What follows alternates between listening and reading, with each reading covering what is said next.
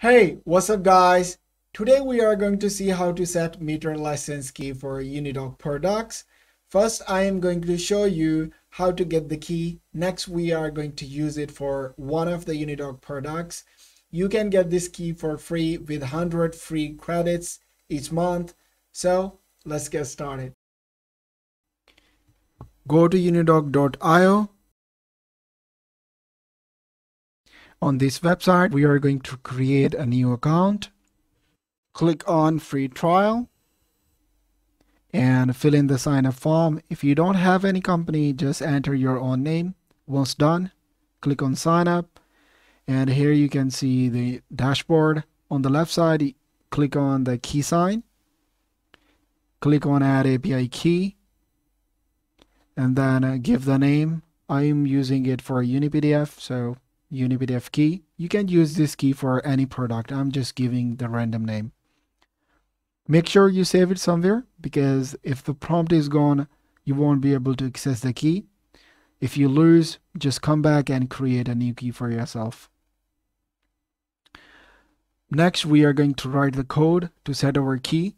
So open the editor or any IDE in which you do the coding. So package main and then import the package for printing, open file, and the log for error handling. And next, get the license link for the product which you want to use. And for that, go to the Unidoc API doc. Click on Unidoc documentation and then select the product which you want to use. In this example, I'm using the UniPDF so selecting the recent version of the UniPDF and then selecting the license package and then getting the import line from the license package and using it in the import. And then init function.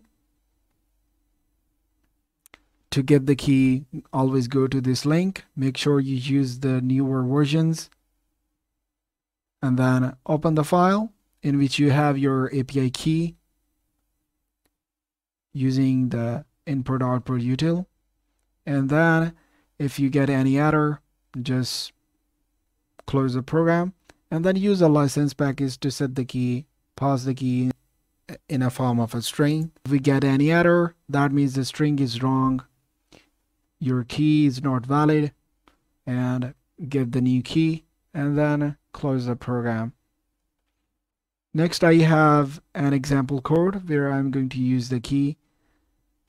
So here I'm using, this is inside the main package, and I'm using the creator and model from the UniPDF.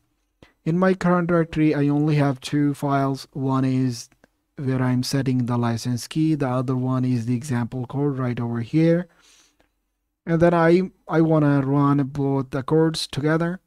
So go run dot that means run all the Go codes in my current directory because we need to run the license code every time we run our program.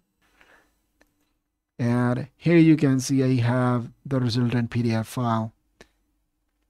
That's it for today. And if you have any question, feel free to leave the comment below. I will attach the link of Discord in the description. And I hope to see you guys in the next video.